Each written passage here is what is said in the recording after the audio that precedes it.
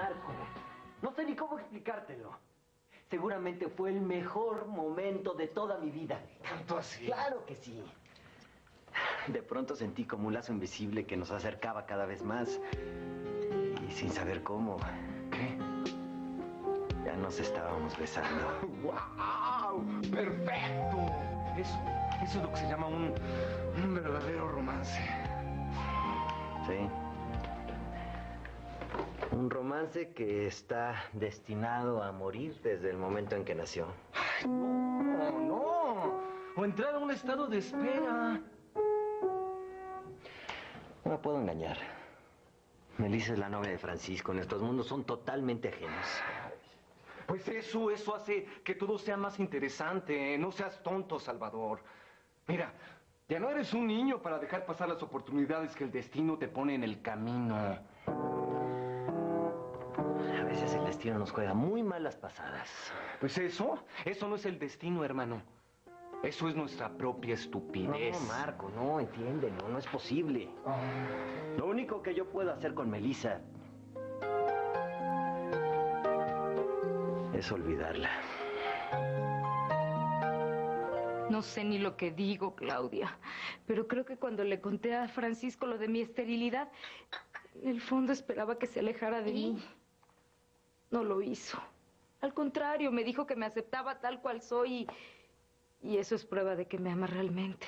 Ay, ¿De verdad crees que Francisco es capaz de amar a alguien? ¿Pero por qué lo dices? No, no sé.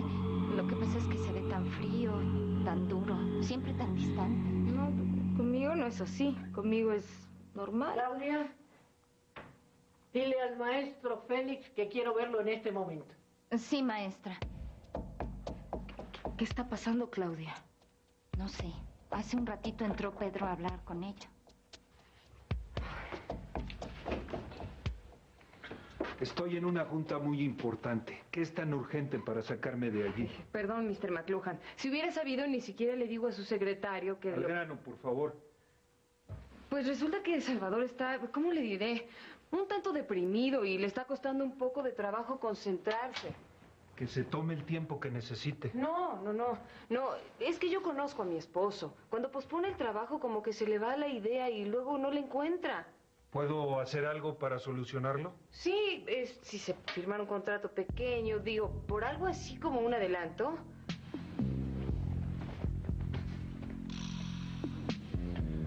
Hagan lo que esta mujer quiere. Y por favor, no quiero volverla a ver de nuevo por aquí. Sí, señor.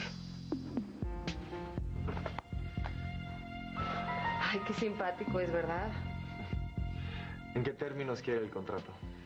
Yo quiero que aclaremos lo que sucedió con el examen de este alumno. Véalo usted misma, maestra. Comprobará que su letra es prácticamente ilegible y considerando que el examen fue de español y que contenido y forma son la misma cosa que expresan la unidad cognoscitiva, no tuve otro remedio que adjudicarle la mínima puntuación. ¿Pero qué dice aquí? No entiendo. Me temo que ese fue el problema, Julia. No se entiende lo que escribió. ¿Me permite, maestra Julia? ¿Y cómo no, hija? No, no. ¿Con qué mano escribes, Pedro? Pues con esta. Ay, pues ese es el asunto. Pedro es zurdo. No, no, no, no es un asunto. Uy, es un problema. Así nací. También naciste sin saber caminar y ahora, sin embargo, caminas. A la escuela que me mandaba mi papá, nunca me dijeron nada por ser zurdo. Ese es el mayor problema de la enseñanza moderna. Consienten los defectos de la gente. No es un defecto. Suficiente, jovencito. El mundo es de los diestros. Y si quieres ser parte de él, de ese mundo, debes aprender a ser como todos los demás. En esta escuela vas a tener que escribir con la mano derecha. No tienes otra alternativa. Pero Nada. Está decidido.